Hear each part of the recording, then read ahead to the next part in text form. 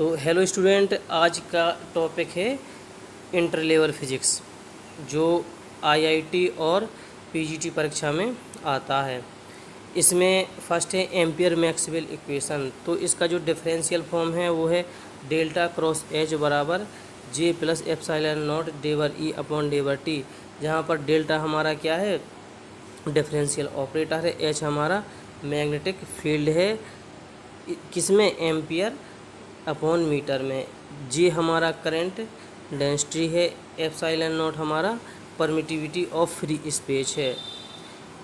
Free space है, उसके बाद डेवर ई अपॉन डेवर टी हमारा है the rate of change of electric field इसका इंटीगल फॉर्म हमारा है integration close curve H dot D L बराबर ब्रेकेट ब्रेकेट करेंट किसका है? इनक्लोज इनक्लोज बाउंड्री का है, plus epsilon not डेवर E upon डेवर T, integration S.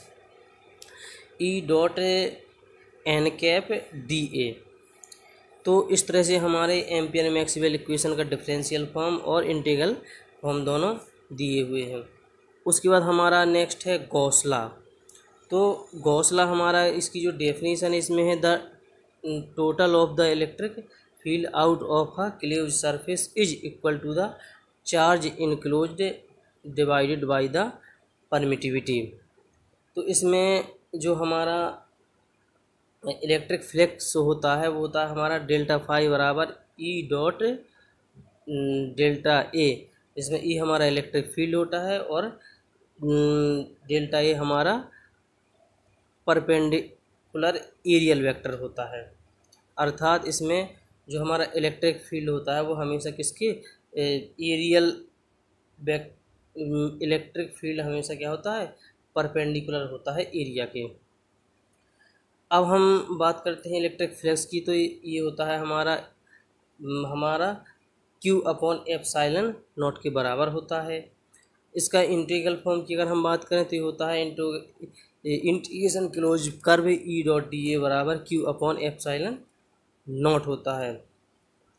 तो इसका जो स्टेटमेंट है, इसमें है the area integral of the electric field over any close surface is equal to the net charge enclose the surface divided by the permittivity of space next हमारा Stokes law तो Stokes law के law में the coefficient of viscosity eta is N indication of फ्लोरोड flow rate को ये show करती है कौन सी?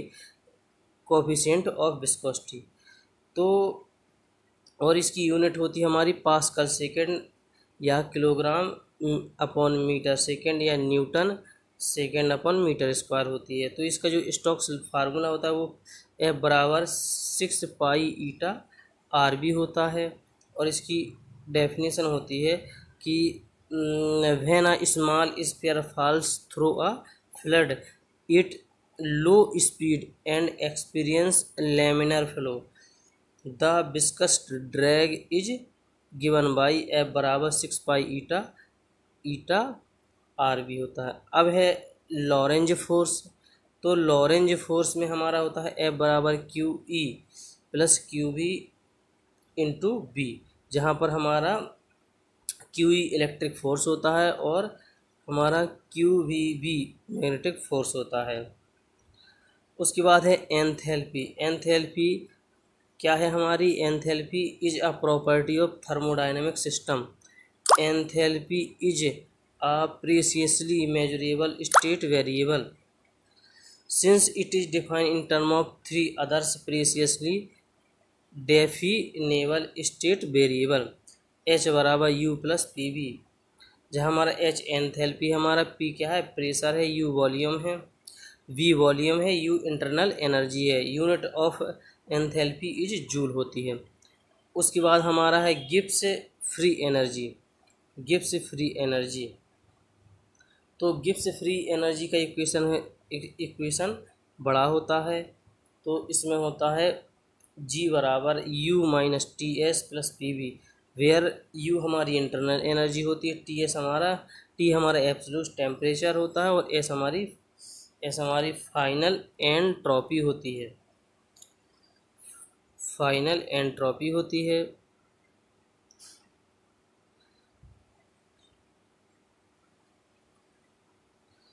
उसके बाद पी भी हमारा क्या होता है?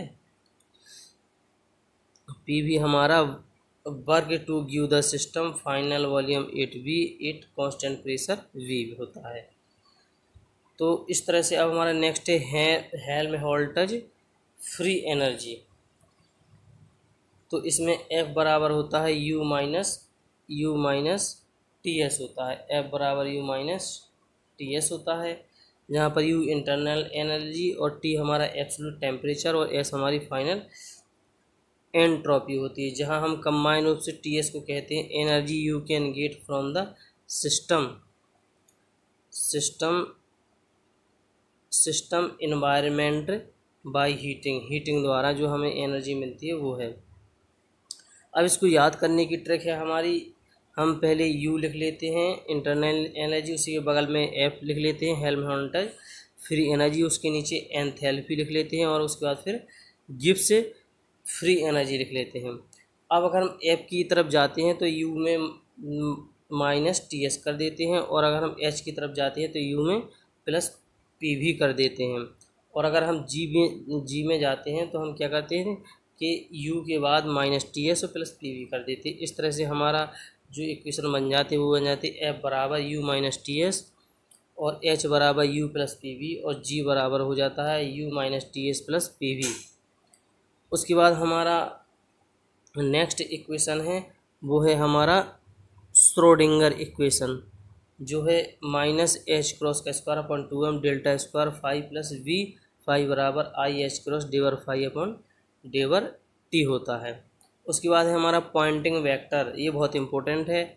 इसमें एस एस एस है के बराबर है वन अपॉन म्यूनिट ई ई क्रॉस बी जहाँ पर हमारा ई क्या है इलेक्ट्रिक फ़ील्ड और बी हमारा क्या है मैग्नेटिक फ़ील्ड तो इसको हम दूसरी फॉर्म में लिख सकते हैं एस बराबर E B upon mu mu naught होता है, बराबर E square upon mu naught C बराबर C B square upon mu naught C और हम इसको लिख सकते हैं एस बराबर C U Poynting vector point in the direction the wave motion Poynting back gives the energy passing through a unit area in one second one सके। Unit are watts upon metre square उसके बाद है कूलाम्सला and न्यूटन्सला तो कूलाम्सला क्या होता है? ये होता है एफ़ डायरेक्टली प्रोपोर्शनल होता है Q one upon Q two के और वन अपॉन आर स्क्वायर के। कम्बाइन रूप से इसका जो फार्मूला बनता है, वो बनता है एफ़ बराबर K Q one Q one into Q two upon R square इसी तरह से हमारा जो न्यूटन्स ला होता है, वो होता है F directly proportional M one M two और वन अपॉन आर स्क्वायर के, और फाइनली जो इसका इक्वेशन बनता है, बराबर G M one M two upon R square. तो इस तरह से जो के की वैल्यू होती है nine into nine nine into ten to the power nine newton metre square upon newton metre square upon coulomb का स्क्वायर होता है, और यहाँ पर जी का वैल्यू होती है जी बराबर six point six seven into ten to minus eleven metre याद है थ्री के जी और सेकेंड का स्क्वायर अब क्या है मैक्सवेल इक्वेशन की पॉइंट फॉर्म और इंटीग्रल फॉर्म, जो कि बहुत इंपॉर्टेंट हैं। तो इसमें डेल्टा क्रॉस एच बराबर होता है J C plus plus plus delta D upon delta T. याद रखना है यहाँ पर पहले ई होता था तो टू में एप्साइलन नोट हुआ करता था।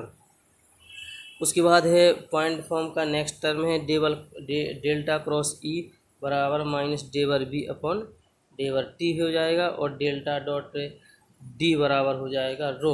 और डेल्टा डॉट बी बराबर शून्य होता है। अगर हम इंटीग्रल फॉर्म की बात करें तो delta H dot D L बराबर होता है। डेवर एस जे सी प्लस डेवर D delta D upon डेवर T into D S, इसको बोलते हैं एम पी एल ला।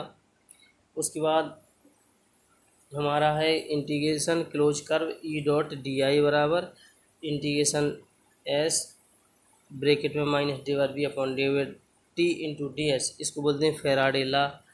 फेराडिला, उसके बाद हमारा है एस डॉट डी इंटीग्रेशन, ये सरफेस इंटीग्रल है तो डी डॉट डी एस बराबर इंटीग्रेशन रो डी वी, ये वॉल्यूम इंटीग्रल है तो ये हमारा क्या है?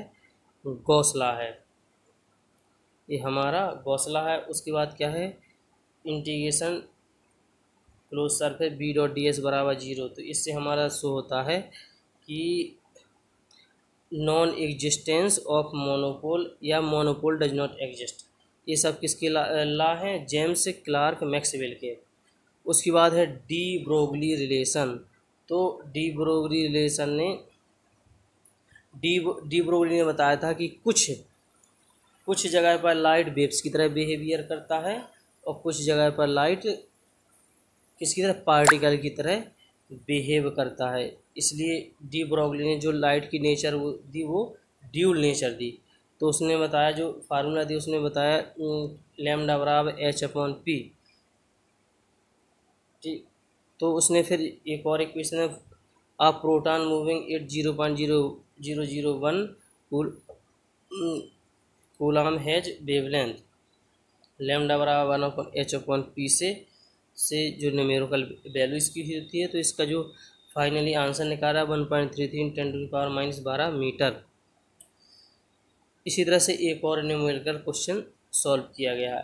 तो अगर स्टूडेंट्स ये वीडियो पसंद आए तो लाइक, सब्सक्राइब और शेयर ज़रूर करें, लेकिन लाइक करना ना भूलें। Thank you very much.